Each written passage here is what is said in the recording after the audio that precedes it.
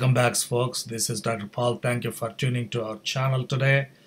And today I want to talk about the important differences between primary biliary cholangitis and primary sclerosing cholangitis.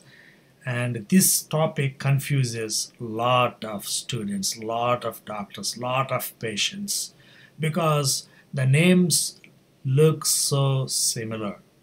So I prepared this chart. I mean, you don't find this chart anywhere because I personally prepared this chart for patients and doctors and medical students. So please look at this chart to understand the differences between primary biliary cholangitis and primary sclerosing cholangitis.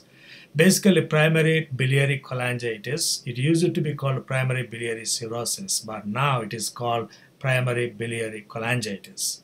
It is immunologic attack on the intralobular bile ducts that eventually leads to cirrhosis and liver failure.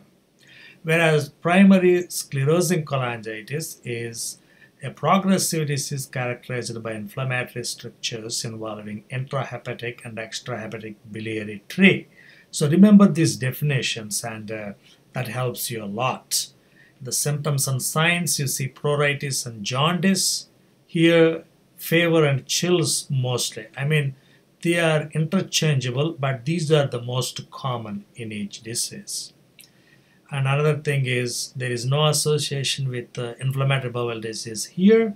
And in uh, PSC, you will see um, inflammatory bowel disease like Crohn's disease, ulcerative colitis. It is 75% uh, of patients with PSC can have inflammatory bowel disease. And here the R2 antibodies are antimitochondrial antibodies. This is the hallmark of PBC. Whereas here it is P-ANCA. Here you see female predominance. Here you see male predominance.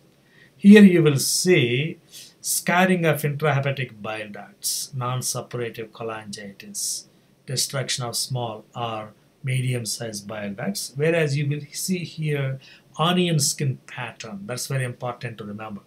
That's uh, many questions come with those that phrase onion skin pattern on liver biopsy. Where do you see this? In primary sclerosing cholangitis. And most patients are asymptomatic here when diagnosed. At the time of diagnosis, most patients are symptomatic here.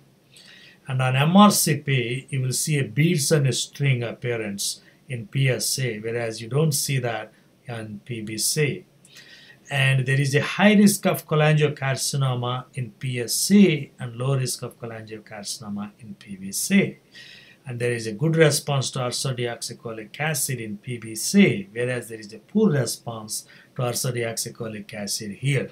So remember this because many times when, when you are asked about these things, you can get confused between the two. But if you remember this uh, uh, table, it will be easy to uh, understand these concepts and also to answer the questions. Thank you very much. Please subscribe to our channel.